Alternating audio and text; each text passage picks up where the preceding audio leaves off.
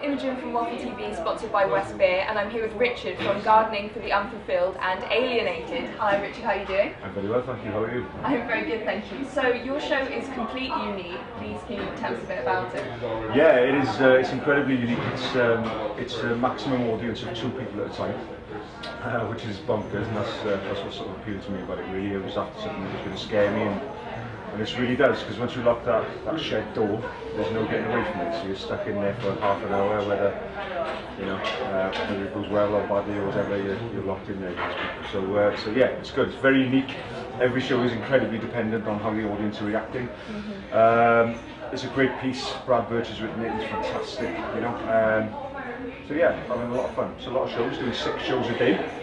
But for a maximum audience of two, that's that means only 12 people a day can see it. So, so yeah. But that's a pretty heavy schedule every day. yeah, it is. Yeah, yeah. So it's uh, no late nights for me, unfortunately. Uh, no, exactly. So I haven't had a, an Edinburgh beer yet, but uh, I'm saving that for a day off if I get one. Um, and uh, yeah, it's pretty pretty intense. So your show is called um, has gardening in the title. Have you had any people coming in not quite expecting what you're going to give them? Yeah, um, yeah, it's called Gardening for the Unfulfilled and Alienated, and uh, I think some people think they're going to have half an hour with Alan Titchmarsh gardening tips. And, and it's really not that. It's What a shock. Yeah, exactly. It's a massive shock. Yeah, you see, um, you see these sort of uh, more elderly audience members, should we say, turning up thinking they're going to get tips on how to prune a petunia, and that's really not what happens. And uh, yeah, it gets a little awkward. I. How do you how do you deal with that? um, I don't know. Um, you just got to get through it. You know, you've got a script. You've got to stick to it. So you just, um, you just, you just carry on playing what you're doing. You've got to be professional about it and just keep doing what you're doing. But um, a lot, most of them come round to the idea that it's not, it's not um, a gardening tips uh, show they're going to be seeing. But um, I think a few of them will get pretty, pretty terrified at the end of it. Um, so do you, because it's only two people, do you find people come together in pairs, or have you had two strangers?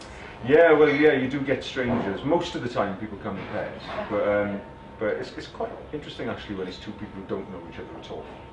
Uh, they're normally a quieter audience because they're not reacting with each other. And because I think it's such, such an intense experience with just the two people there that it can feel quite uncomfortable for people. They're just on two little stools in the corner of a shed, you know. And I think if they've got somebody they know in there, they look to each other for a bit of support, you know. So they're, they're slightly more animated as an audience. But when they don't know each other at all, they tend to sit in the back of the shed and don't know really what's going to uh, what's going to happen. But um, but yeah, so it's an interesting dynamic when they don't know each other, especially when you've got somebody who's there for gardening tips and somebody who's there for the for the ruder jokes. So um, have you ever done anything like this before? What have you done in the past, and how did you get involved with the project?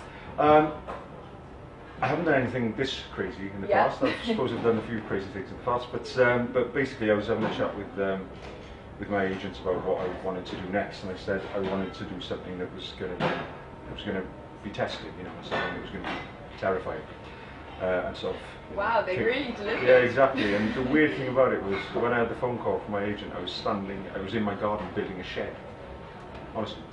And uh, and she phoned me up and said, uh, I, I found you something that's going to scare you. I said, right, okay, tell me about it. So she told me about it. I was like, that sounds fantastic. Send me over the script. So they sent me over the script. I read it. I said, right, I have to do this. So get me the meeting.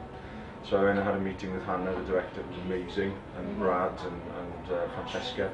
Um, and we got on really well, the meeting went really well, and uh, yeah, I was pleased to get offered it and snapped her hand off. really. Great. So yeah, it's good, it's a good one. So are you a keen gardener? I am actually. Yeah, yeah, yeah. Not with flowers, really. I'm more of a, I'm more of a vegetable man. Uh, it's true. It's not. I'm not even joking.